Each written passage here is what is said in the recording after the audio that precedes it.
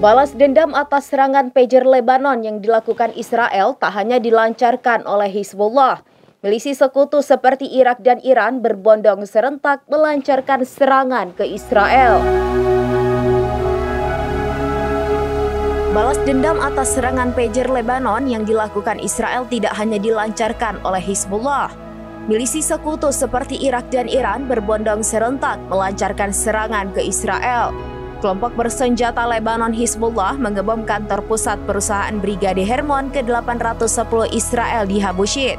Roket Katyusha juga menyerang komando Batalion Al-Sajal di Barak Beit Hillel. Posisi artileri pendudukan di Neveziv juga diserang oleh rentetan roket.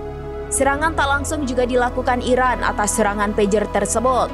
Iran menuduh Israel telah melakukan pembunuhan massal setelah pager Hizbullah meledak di Lebanon.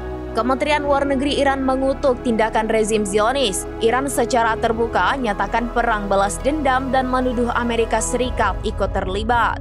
Tuduhan Iran yang bisa berdampak serangan ini juga diantisipasi Amerika Serikat.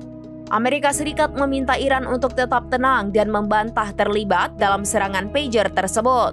Dalam upaya pembalasan yang sama, IDF menghadapi serangan besar di Laut Galilea. Jet tempur Israel berusaha mencegat pesawat nirawak yang diluncurkan Irak sebagai balas dendam membantu Hizbullah. Peluncuran pesawat nirawak ini juga memicu sirine di Tiberias dan beberapa kelompok terdekat lain. Lesatan pesawat nirawak ini juga memicu kewaspadaan tinggi dari warga setempat.